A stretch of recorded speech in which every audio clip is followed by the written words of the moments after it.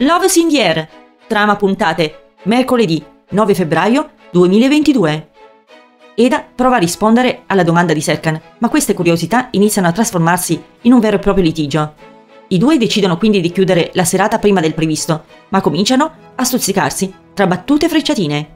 Tra Eda e Serkan, alla fine, prevale la passione e dopo diversi baci, i due trascorrono la notte insieme. Il mattino successivo Bolat fa dei gesti romantici per Eda, portandole anche la colazione a letto, e successivamente la domanda se intende tornare ad avere una relazione con lui, per garantire stabilità e felicità alla piccola Kiraz. Inaspettatamente Eda decide di accettare, anche se la loro non sarà una storia d'amore vera e propria, e soprattutto non ci sarà ancora la possibilità di viverla alla luce del sole.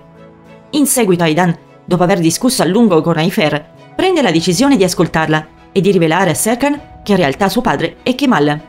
Così, non avendo il coraggio di parlargli di persona, la donna decide di rinunciare all'idea della lettera, ma lascia il lungo messaggio in segreteria al figlio, in cui gli spiega nei dettagli ciò che è successo.